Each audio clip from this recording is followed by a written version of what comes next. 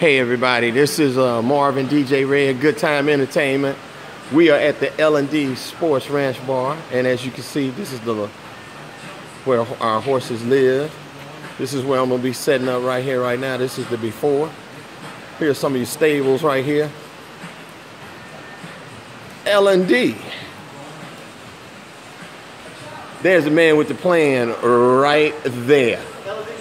L&D Sport Horses. Hey, I better be going on my Facebook page. Y'all check it out and connect to it. Out here in the hill country, L&D Sports Ranch.